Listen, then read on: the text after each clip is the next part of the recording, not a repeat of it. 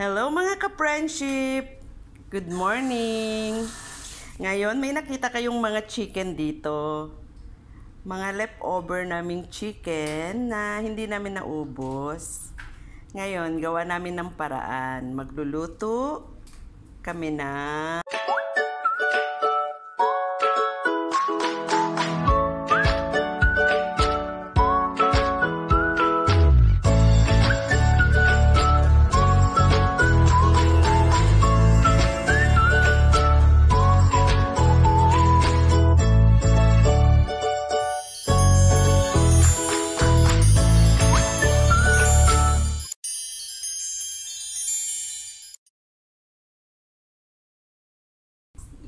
lechon paksiw na chicken. Ayan. Yung yung barbecue na chicken, ngayon gagawin namin siyang lechon para maiba naman, para masarap. Kung kung nasa kung wala kayong maisip na lulutuin sa ganitong leftover, pwede kayong gumawa ng ibang paraan para maging mas masarap at menos gastos. Hindi nyo pwedeng itapon. Yun. Ayan na. Ayan, magpainit ng mantika. Tapos, lalagay namin yung Sabay na yan. sibuyas at bawang.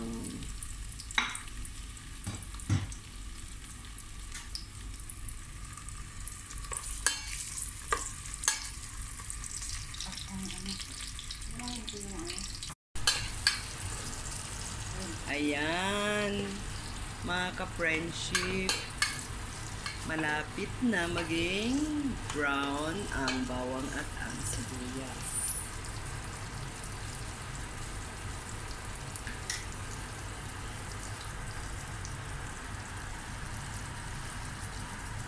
Kita niyo mga ka-friendship, susyalan, yayamanin ang ano namin, ang kalan.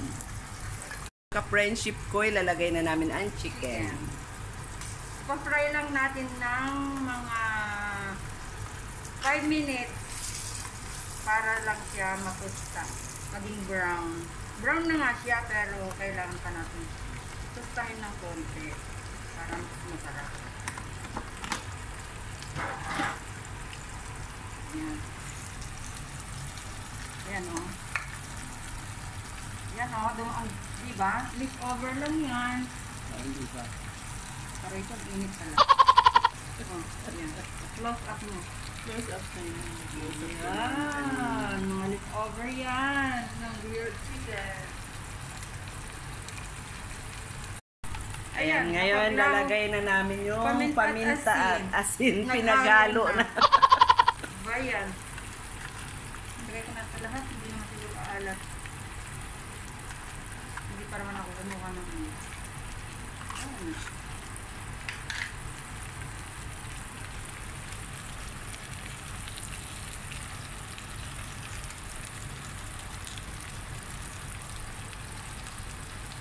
Pwede na natin ito balik rin para maluto yung kabila.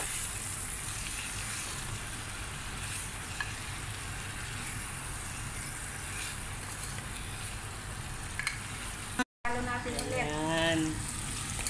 Binuksan na yung kala, ano, yung kaldero. Hahaluin na yung chicken. Yan, nag-brown na ng konti. Yan. Lagyan natin ng ng sili Ayan. para maanghang. Sile. Yan. Mm.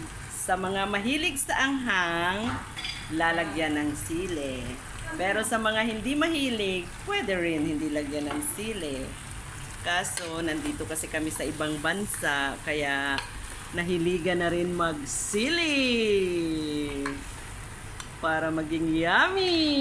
Ngayon, lagyan na natin ng Mang Tomas. Ayan. all-purpose sauce. Ayan. Pero hindi yan sponsor ha. Binili namin yan. Sponsor talaga. Shake, shake, shake, shake. Ayan o. Shake, shake, shake. Bago i-hulog. Yan. Paghaluin na namin sa aming Madali lang chicken. lutuin to guys. Yan. Uy, sarap. Yan na. Ayan guys, oh, daming sarsa. Para sa aming lunch mamaya. Hindi masayang ang mga chicken na kala nyo leftover na at natutuyo na sa rep. Lagyan natin ng konting, konting, alam, ano? Konting tubig, Tubig. guys, para hindi, para Hindi magkaroon siya- siya ng sauce. Yeah. Yan, konti lang. Kasi yung iba, pag nakababad na yung chicken sa ref, akala nila hindi na, wala nang paraan yun. Maraming Minsan paraan, kasi guys. maraming paraan para maging masarap ang pananghalian.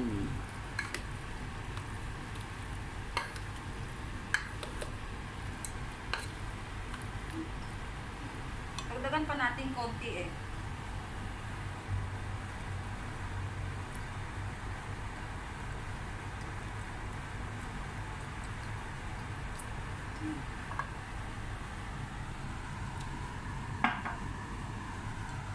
Halo-halo.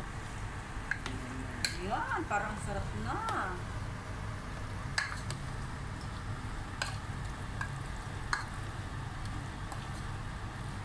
Yan, ipakulo natin ng mga ng minuto lang. Lagyan pa natin ng ano, konting tubig kasi masyadong dry. Yan. Mga 5 minutes. 5 minutes, okay na yan. 5 minutes na kulo, takpan, tapos ready na ang aming tanghalian. Ayan guys. Ayan mga ka-friendship, sumasayaw ang kaldero. Malakas yung pressure ng ano, ng electric. Oh. Nagluluto rin kami ng kanin kasi wala kaming kanin. Wala kaming kanin doon. Kulang. Ayan, kumulo na. Ayan. After 5 minutes, luto na ang pang-lunch namin. Halo-haloin natin para ma-absorb yung tamis. Saka yung anghang ng sili, at saka mang tomas sarsa. Tikman natin kung tama yung yung lasa. Huwag mo na ipakita dito na lang. Ayan na oh, mga ka-friendship. Yum, yum. Sarap. Masarap. Yummy.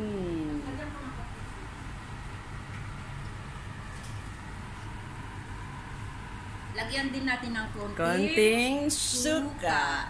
Datu pusi. Wah, datu puti. Konti lang. Ayan. Ayan ka-friendship. Nasa sa inyo na guys kung anong asim ang gusto nyo. Yes. Kung hindi maasim, pwede pa kayong magdagdag. Ganon din sa sarsang mga tumas. Oh, hindi ba? Huwag muna natin ihalo kasi Ayan mga ka-friendship. Ito na yung Chinese product. finished product ng chicken paksiw. Yan. Ayan na mga ka-friendship. Diba? Halina kayo, kain na tayo. Ito ang lunch namin. Bye! Please subscribe my channel. Thank you. God bless. Happy eating.